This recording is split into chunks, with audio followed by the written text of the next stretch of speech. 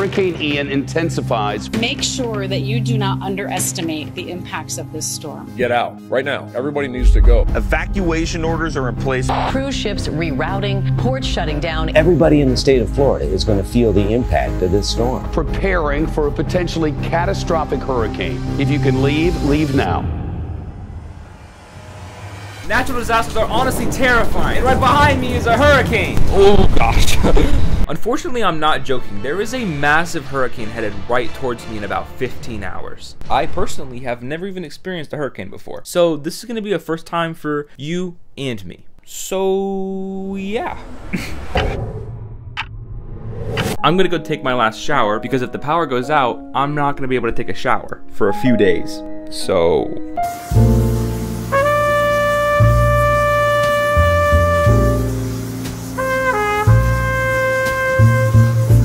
just kind of wanted to like show you guys how it is going through a hurricane. The storm is starting to move faster, and instead of hitting us at 4 a.m., it's going to be coming at 1 a.m., which means I need to give you a little tour. The storm bunker. The reason my bathroom is the storm bunker is because it has no windows, which means flying objects from outside can't crash into us inside. The winds are like really high, by the way. They're like over 100 miles an hour, which is faster than I can run. We have a little fan in our bathroom that makes noises when there's like a big storm. Mm, well.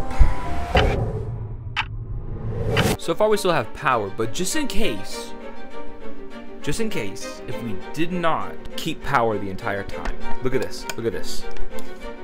Oh. Wow, this thing makes me look really white. But I'll be able to see in the dark, so that's really good.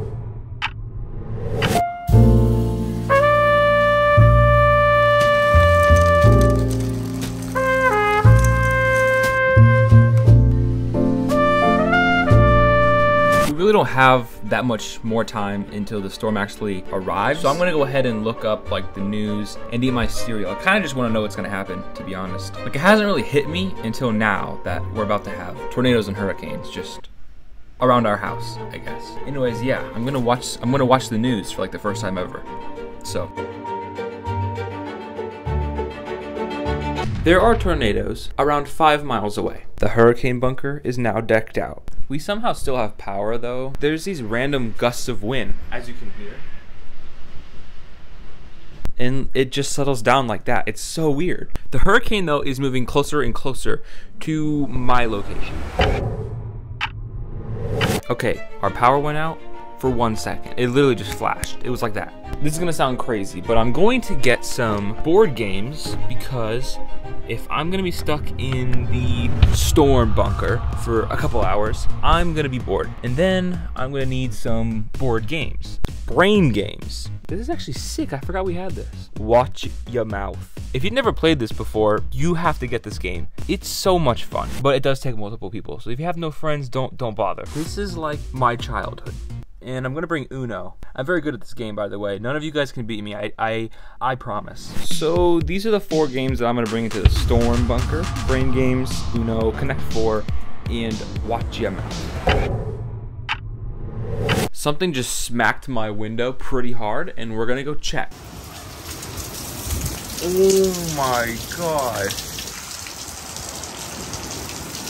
I don't know what hit the window then. Hello everyone, I'm actually in the storm bunker right now. Surprise.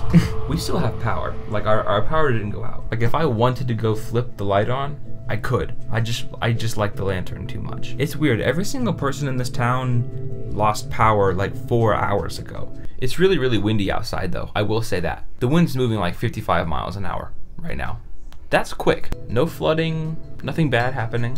I think I just got kind of excited to finally experience a hurricane, but I was kind of hoping to be bunkered down in the storm bunker and genuinely lose power. That sound this is this actually sounds terrible. Oh my god. I don't know. I think I got excited. I think I just got pumped up. But yeah, it didn't, and everything's okay. However, I do know that a lot of stuff did happen in Florida. So we're gonna go for a big drive tomorrow. Anyway, I'm gonna go to sleep. Not in here, by the way. Not in here. I'm gonna go sleep on the couch like a normal human. So, peace out.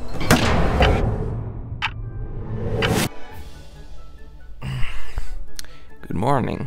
we still have power. My cat actually fell in the bathtub last night. The bathtub has water in it just in case if like the power did go out and we would have to flush our toilet. But the cat fell in the water and ran frantically through the house. But not much else has happened. I'm gonna make a bowl of cereal and then we're gonna go look at the damage outside.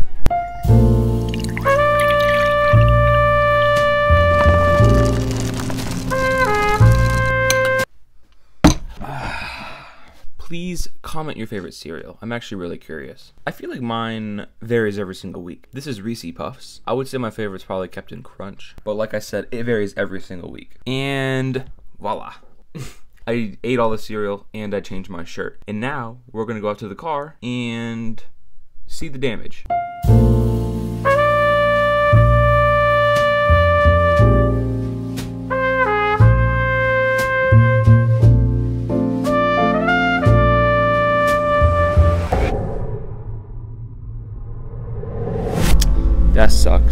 We actually put all of our outside furniture in the pool so it wouldn't blow around everywhere during the hurricane, but it backfired because now the pool is greener than I've ever seen it before. So now we have to use a rake to get all the furniture out. Hopefully it doesn't get any more green because that would suck.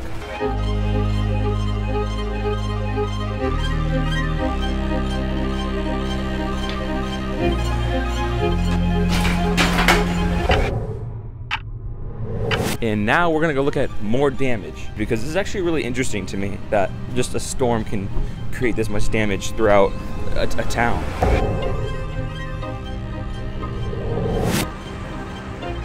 Uh, some trees fell on their house. Their entire tree fell down.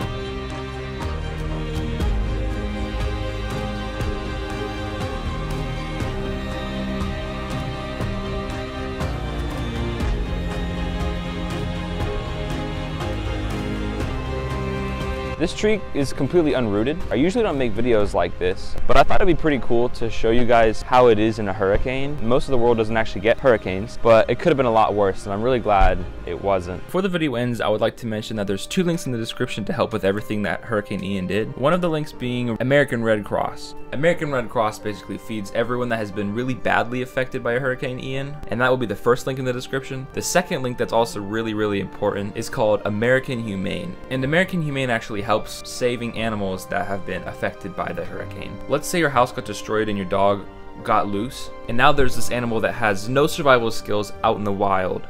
American Humane actually helps with that. And actually, when we were driving around the town after the hurricane, we found this little baby squirrel and we weren't sure if it was alive or not. It's very cold in Florida after um, big storms like that. But the squirrel was very cold and we wrapped it up into a blanket and we tried to see if it was still alive and we don't think it was. But anyway, what I'm trying to say is that, I mean, there's animals everywhere and so many living beings have been affected by this hurricane it's it's not even funny. But anyways let me know if you guys like this style of content. I really really enjoyed making this video but it's not like my usual thing.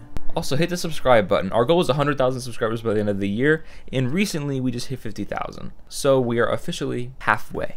And i'll see you guys next time. Toodles